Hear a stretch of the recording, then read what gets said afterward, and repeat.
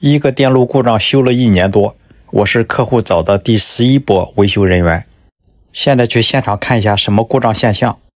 看看，这是维修现场，强弱电师傅、物业的师傅、智能家居工程师都在。故障现象是这个智能锁带电，这把锁它是自控的，就是人把锁打开以后，门厅的灯它就自动亮了。但是现在这一切都不好使。原因是安装智能锁的时候发生了放电打火，怀疑有漏电的地方。我操！就我的锁跟门地一接触，记得。锁跟门一接触，锁这个地方不是也是地嘛，对吧？就我就接触点也是地嘛。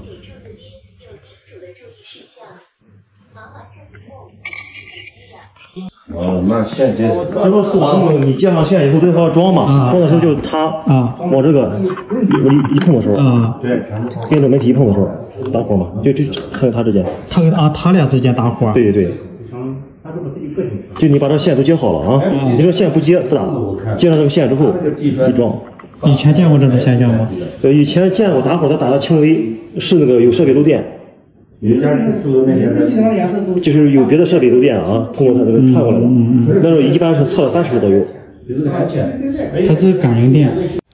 它这个门锁里边需要一个五伏的电源，直流电源，然后再回去一个信号。而他们测的这个线上带了一百多伏，这个电压是不正常的。他们说，而且前前后后烧这个中控烧了三块。我也测一下电。现在一个什么情况呢？就是这这是有一个五伏电源，五伏的电源是。五伏电源是这这个五伏电源。嗯。现在这不这几个线，我们现在全全给它断开了。嗯。这五伏电源这个线接上以后啊，这个门上就带电。还有一个就是五伏电源出来的电跟这边的铁，你随便跟那铁边一连，它出来的电是一百四十多伏。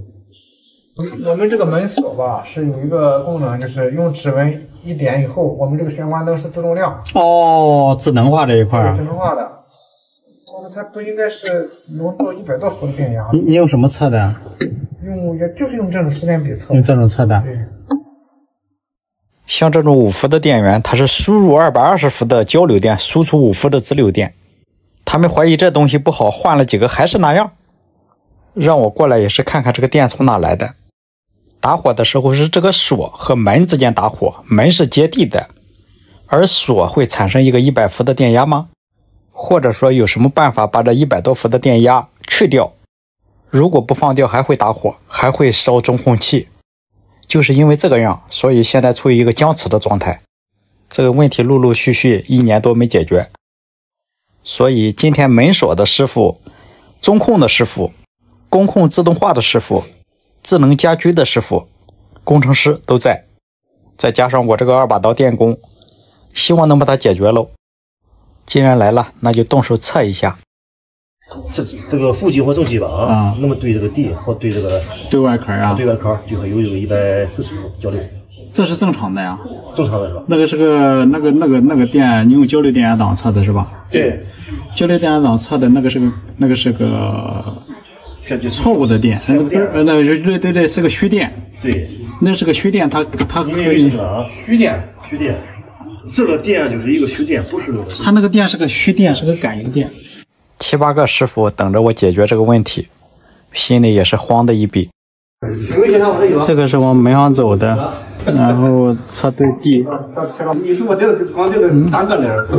对地漏电了。这五伏的电源，嗯，是锁的，对，它是这个是对地是接漏电的，是接地的，但是是正常的吗？正极是吧？这无论正极还是负极，它对地都有一个电阻，这个电阻。对地有个电阻，我把锁给断开，有个十欧的电阻啊。这头把锁摘下来以后再测。把锁断开以后我再测。断开就没了。断开就没了。断开就没了。它这个锁，呃，锁是本身是接地的呗？那个锁有可能坏了，有可能烧坏了。啊？那个锁有可能烧坏了。有可能坏了。去测下正负极。哪个是正？这个你打欧姆档行？欧姆档。挡不挡路是吗？它就是有个十欧的、几欧的一个电阻，电源都是一个电阻。所以说它，但是它对地，也就是说它的里面的电路板是接地的，它是正常的。正常的是吧？嗯，电路板对地接地，我加一个。对地，啊，负极对地是通的就对了，是吧？对。它这个电路板本身是接地的。这一动就是。正极，这个是正极。啊，正极。嗯，正极。前面那个全是二二二。中间户是二十四，拉户。呃，对对，这正常的，这个这个应该是没毛病啊。嗯。没问题啊，这个。就是它这个接地是正常的。这两这个正负接接地是正常的，也就是说没毛病，电路没毛病，嗯，对吧？嗯。电路都正常，那现在就想办法把这个一百多伏的电给放掉。既然门锁的电路负极是接地的，那我把这个输出正负的负极，我给它做接地。就是这个电源块，它是输入二百二十伏的交流电。输出五伏的直流电，直流电有正负，就是把负极接地，接出一根地线，地线连接地，这个是可以的。看一下它的电源块，在接地线不接地的情况下，它对地它是有个电压的。用这个电笔测一百多伏，一百零几伏，再到门锁这个地方测量这几根线，看电笔上都带几十伏的电。他们说这几十伏的电如果串到模块里边，它是会烧模块的。再看一下这个电源线，一百零七伏啊。这个门是接地的，门是零伏，所以说应该是这个一百零七伏对大门放电。这是没接地的情况。如果我把这个地线接地呢，这个线我直接怼这个接地上，接地体、接地线，然后用电笔测量，这个是没有电的。没有电，现在再去门口测量一下，看看还有没有电。直接测量这个电源线，刚才一百零七伏，现在没了，电压没了。这几根线都不带电压了，都正常了。刚才都带几十伏、一百伏，而负极接地以后，它的电压受影响吗？它的输出电压是正常的，五伏的直流电压。所以我认为我这样接是没问题的。然后把电源给它接好喽，我就是从负极接出一根线，给它压在了接地排上，这样呢一百多伏的感应电就没了。我不知道叫它感应电对不对，或者是一个谐波电压，就是还请各位师傅多多指点。这个不接地产生那个电压是什么电压？但是这个电压是可以对地放掉的。好了，这样我的任务就完成了。剩下的就是工程师们开始忙活了，他们要换模块，要找信号，反正我也看不懂，那就收拾一下工具撤吧。车找不到了，这是不是一个捡钱的活？启动不了啊！我启动不了，这些都启动不了。嗯，启动不了。那望远表。我它的话，它电压挺稳的，但是一启动的时候啊。二百二都启动不了啊！你看，啊，瞬间成一百六七、一百七八了。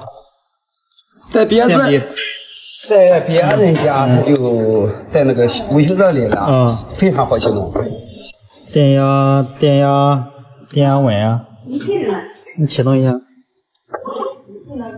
哎，哦，那启动不起来。啊，电压是还变低了。立马就变低了。啊。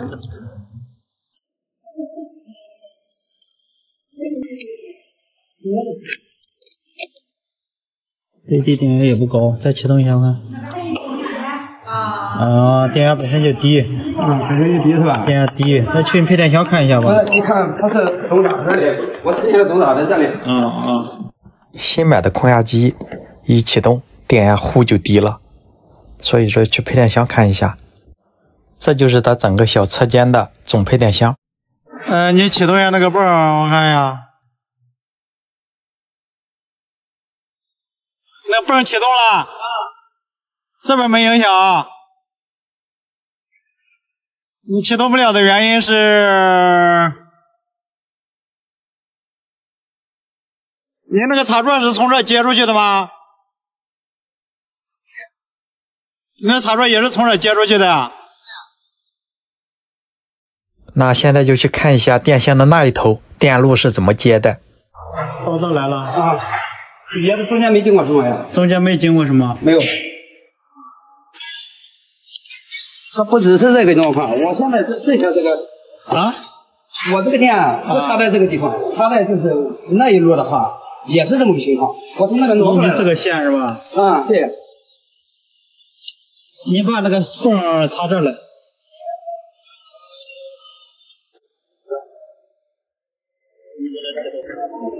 啊，这在那边，它偶尔也能启动。啊，我知道你插这儿了。怎么启动不了？嗯。